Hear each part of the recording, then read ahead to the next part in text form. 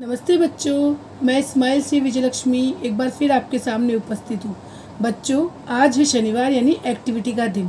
तो बच्चों, आज हम सीखेंगे फ़ोटो फ्रेम बनाना।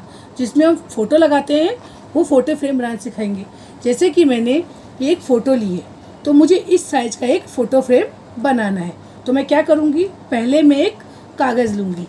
उस कागज़ को मैं इस फ़ोटो के हिसाब से सेट करके और इसकी यहाँ ऊंचाई की पाँच सेंटीमीटर, इसकी लंबाई के हिसाब से लंबाई के हिसाब काट के और जो इसके साइडों का एक्स्ट्रा हिस्सा वो काट देंगे और इधर साइड में हमने पाँच सेंटीमीटर, इधर ही पाँच सेंटीमीटर, जिन चारों तरफ़ पाँच सेंटीमीटर इसका एक्स्ट्रा हिस्सा लेके बाकी साइडों कोने हम यहाँ काट देंगे। उसके बाद हम क्या करेंगे? हम इसको जो ये चारों हिस्से हैं, उनको हम डेकोरेट करेंगे सजाएँगे। तो मैंने आपको समझाने के लिए यह देख लो, ये बच्चे मैंने सजाया है। मैंने यहाँ कलर से इसको डेकोरेट कर लिया है, सजा लिया है। जैसे आप चाहें तो इसको, आप फूल, पत्ती, बेल, कुछ भी बना के इसको सुंदर बना सकते हैं। उसके बाद हम क्या करेंगे? उसके बाद हम इसके एक कोने को पेंसिल में पकड़ेंगे और इसको धीरे धीरे हम इसको पेंसिल के साथ साथ घुमाएँगे। और जो यहाँ तक का जो हिस्सा जो हमें दिख रहा है कटिंग वाला, यहाँ तक इसको घुमाकर लाएँगे।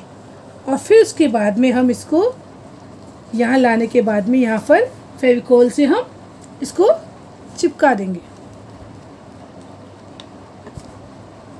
यहाँ हम फेविकोल लगा के इसको हम चिपका देंगे। थोड़ी देर में ये सूख जाएगा, तब ये हमारा चिपक जाएगा। ऐसे ही हम बाकी के तीनों कोनों को भी गोलों से घुमाकर चिपका देंगे।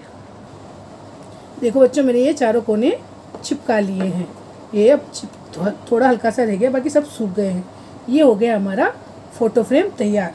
अब हम क्या करेंगे हम इसको? हम इसमें अपनी जो फ़ोटो लगानी है, या तो चिपका सकते हैं या फिर इसके अंदर ये ये हमारी फ़ोटो फ्रेम तैयार हो गई। बच्चों, देखो कितना सुंदर लग रहा है।